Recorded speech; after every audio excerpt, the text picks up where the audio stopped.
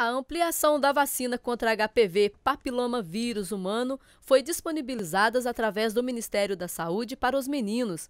É uma nova etapa na estratégia de diminuir as doenças sexualmente transmissíveis pelo vírus.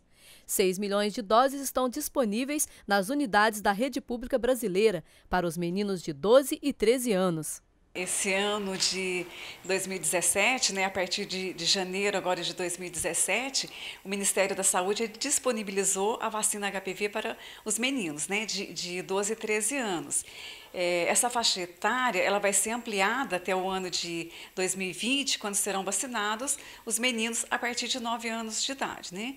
É, a vacina HPV ela já faz parte do, do, calendário nacional de vacinação desde 2014, quando iniciou a vacinação com as meninas né, de, na época, as meninas também de 12 e 13 anos. Então, hoje estão sendo vacinadas, né, hoje, assim, 2017, estão sendo vacinadas as meninas de 9 até 14 anos e agora os meninos de 12 e 13 anos. O HPV, o vírus do papiloma humano, é sexualmente transmissível e causa uma série de doenças. Subtipos dele estão relacionados a quase todos os casos de cânceres no colo do útero, o que explica o foco inicial no sexo feminino. No entanto, ainda que números menores e sem o mesmo nível de divulgação, o vírus está também relacionado a cânceres como de pênis, ânus e boca, tornando necessária a imunização de ambos os sexos. O objetivo principal da vacina HPV é a redução do câncer de colo de útero para as meninas. E para os meninos, é, a prevenção do câncer de pênis e também a prevenção das verrugas genitais, né, em ambos os sexos. E o, menino vacinado, ele não vai estar transmitindo o vírus para a menina. A vacina contra HPV é recomendada para os meninos de 12 e 13 anos de idade e para meninas a partir dos 10 anos. Todos os indivíduos nessa faixa etária deverão receber a vacina. Hoje sabe-se que a resposta imunológica à vacina é melhor quando aplicada até os 15 anos de idade, o que não é contraindicada quanto à sua aplicação para os demais.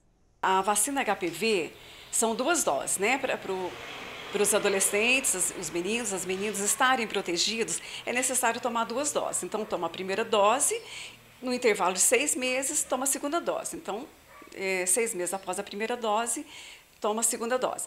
É, a vacina está sendo oferecida no posto de imunização, que funciona é, no ESF Jaime Silva. Também está disponível a vacina contra a meningite C para os meninos, doença no qual provoca sintomas como febre, dor de cabeça, náusea, vômito ou sinais de inflamação nas meninges e, quando não diagnosticada de forma precoce, pode levar à morte ou deixar sequelas como surdez ou lesões cerebrais. Outra mudança também no calendário de vacinação para os adolescentes, né, nesse ano de 2017, foi a introdução da vacina meningite para adolescentes de 12 a 13 anos, né, para os meninos e meninas de 12 a 13 anos. Então, eles também passam a ter direito à vacina meningite C. É, essa vacina, já há alguns anos, ela já faz parte é, do calendário de vacinação da criança. Então, a criança menor de dois anos. Então, a criança com três meses, ela já recebe a, a primeira dose da vacina meningite C. E agora está disponível também para os adolescentes de 12 e 13 anos de idade. A vacina contra o HPV está disponível no ESF Jaime Silva, de segunda a sexta-feira, das 7 às 11 e do meio-dia às 4 horas. E não se esqueça de levar o cartão de vacina. A vacinação contra HPV para meninos também é usada nos Estados Unidos, Austrália, Áustria, Israel, Porto Rico e Panamá. A inclusão dos meninos na vacinação contra HPV segue a recomendação da Sociedade Brasileira de Imunizações e a Sociedade Brasileira de Pediatria.